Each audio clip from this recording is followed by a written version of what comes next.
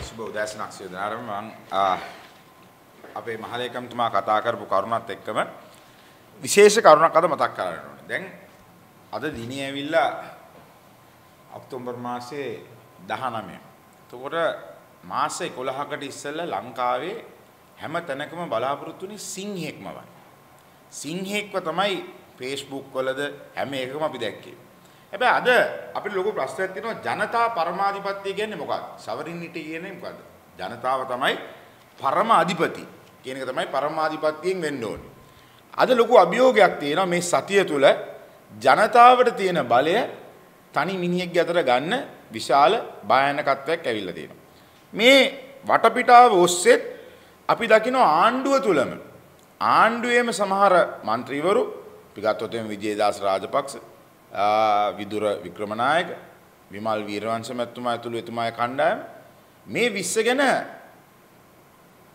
කොන්දක් කෙලින් තියන් කතා කරනවා වගේ පේනවා.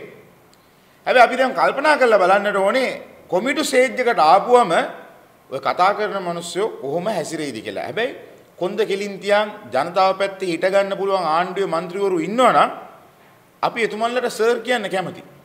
සර් කෙනෙක් වෙන්න ජනතාව ගැන හිතන්න ඕනේ. ඔනරබල් වෙන්නේ එතකොටයි. මම හැමදාම කියන දෙයක් ඔනරබල් වෙන්නේ නැහැ.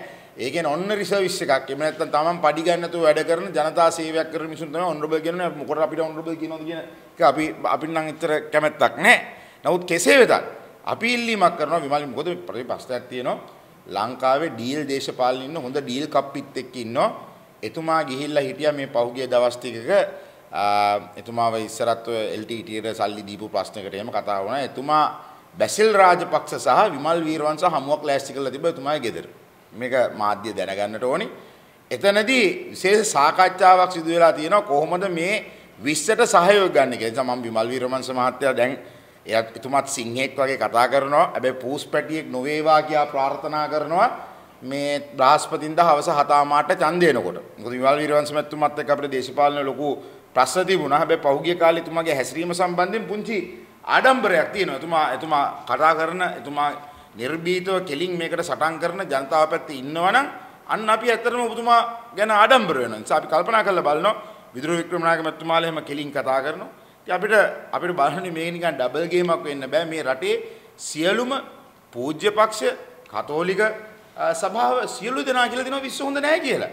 හැබැයි මෙච්චර අපේ මහලේකම්තුමා කිව්වා වගේ ප්‍රශ්නයක් අස්සේ 20 තමයි විශාල වෙලද මම ඔබතුමාලා එකක් අහන්න.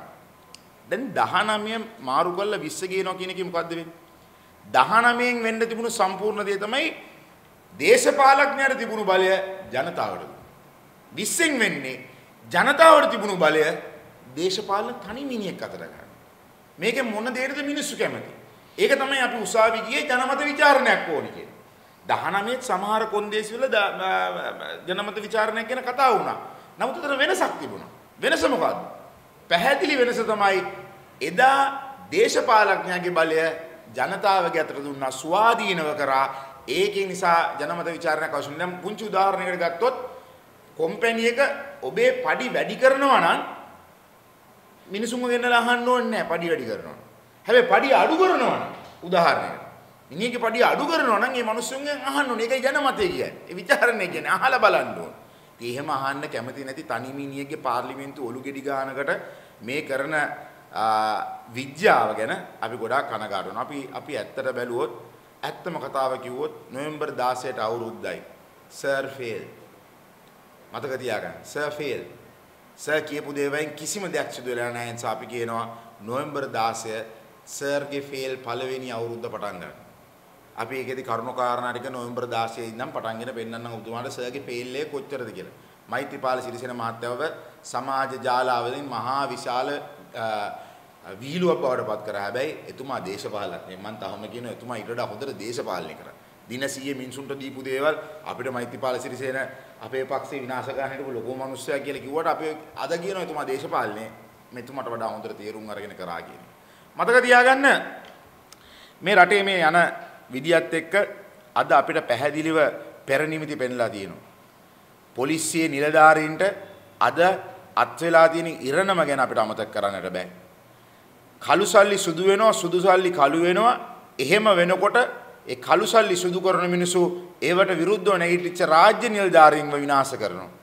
සානිය අබේසේකර්ලා වගේ නිලධාරීන් ගැන කතා කරන්න මිනිහෙක් අද රටේ නැති වෙලාදී. සානිය අබේසේකර්ලා එදා වැඩ කරේ 19ට පින් සිද්ධ වෙන්න 19 තිබුණු හයිය රජයේ නිලධාරියාට ජනතාව දීපු ඒ තත්ත්වය දීලා තිබුණා. මුතුමාට මම කියන්නම් මම දැක්කා Facebook එකේ මමත් ඒ ඒ පොලිස් නිලධාරියව දන්නවා වෙදමුල්ල කියලා හොඳ නිලධාරියෙක් හිටියා. ඒ නිලධාරියව පහුගිය කාලේ පස් පාරක් මාරු කරලා තියෙනවා. හංගුරංකිත පොලිසිය ගත්තොත් මේකේ ඉන්න OIC දේශපාලන පත්වීමකට ඇරලා තියෙනවා. තුන් පාරක් මාරු කරා. ඔන්න මේ දේශපාලනේ 20 නැතුව වෙන දේවල්. 20 ආවොත් එම අබසරණයි කියන එක තමයි කියන්නට වෙන්නේ. හැබැයි මේ මේ රටේ 69 ලක්ෂයක් ඡන්ද ගත්තයි කියලා මේ මිනිසුන්ව රවට්ටන්න මාධ්‍ය විසින් මවපු පුම්බපු චරිතයක් තමයි මේ රටේ විධායක ජනාධිපති වෙලා ඉන්නේ කියන එක අමතක කරන්න එපා. හැබැයි තවම පාර්ලිමේන්තුව නියෝජ්‍ය කරන 225ට තමන්ට අයිතියක් තියෙනවා තමන්ගේ ජනතාව හිතන දේ ජනතාව ඉල්ලන දේ සම්බන්ධයෙන් කටයුතු කිරීමේ හැකියාවක් තියෙනවා. මේ ගව ඝාතනය සම්බන්ධත් මේ ආණ්ඩුව මොකද්ද කරපු විහිළුව ගව ඝාතන කතාවක් ගෙනල්ලා මිනිසුන්ව විතරක් නෙමෙයි මේ රටේ ඉන්න හරකුන්වත් මේ ආණ්ඩුව රැවට්ටුවා. හොඳට මතක තියාගන්න. මිනිසුන්වත් රැවට්ටුවා.